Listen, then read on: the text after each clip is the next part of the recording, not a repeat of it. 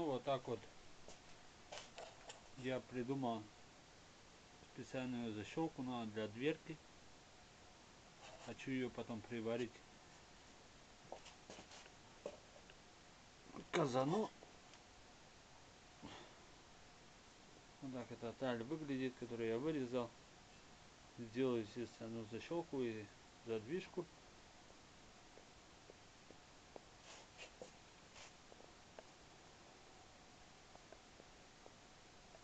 Вот такой у меня получается на печка для казана. Потихонечку.